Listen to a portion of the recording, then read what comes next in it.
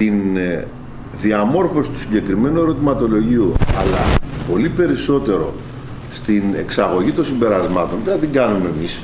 Άλλωστε δεν είμαστε ειδικοί έτσι. Θα, θα την κάνει ε, το, η διαμόρφωση του ερωτηματολογίου έγινε από το Ινστιτούτο Μικρομεσαίων Επιχειρήσεων της ΓΕΣΕΒΕ και το Πανεπιστήμιο Αιγαίου.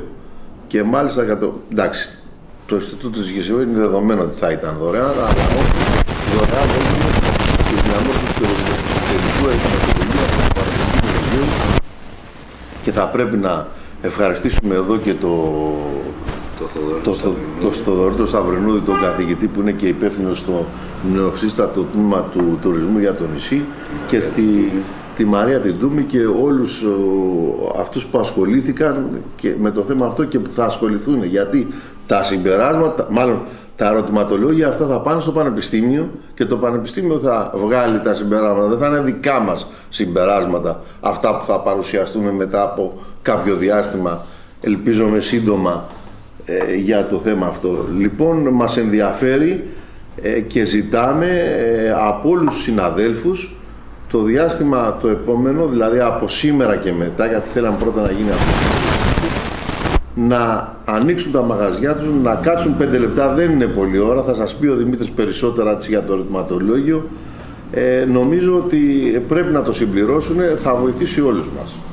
Καταρχάς απευθυνόμαστε σε ένα δείγμα χιλίων και πλέον ε, συναδέλφων, συνάδελφοι οι οποίοι ε, άπτονται του, του τουρισμού, ανήκουν ε, στις υπηρεσίες διαμονής, ε, στις υπηρεσίες εστίασης, ε, τουριστικά γραφεία, ενοικιάσεις αυτοκινήτων, τουριστικά πρακτορία εισιτηρίων και εμπορικά καταστήματα. το ερωτηματολόγιο είναι απλό, περιέχει ερωτήσεις πολλαπλών επιλογών ε, και απαιτεί λίγο χρόνο συμπλήρωσης.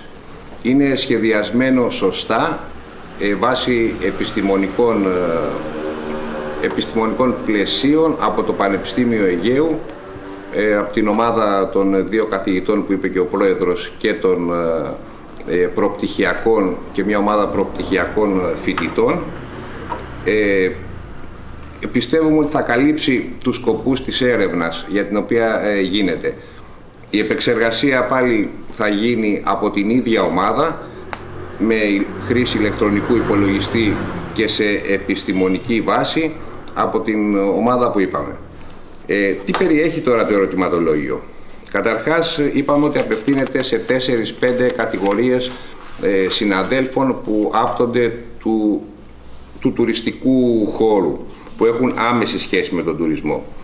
Ε, χωρίζει τυχείο σε περιοχές όπως είναι τα, ο Βροντάδος, τους πρώην Δήμους, Βροντάδος, Μαστιχοχώρια, Ιωνία, Αμανή, Δήμο Αγίου Μινά και Βορειοανατολική Χίο, Καρδάμιλα, Λαγκάδα κτλ.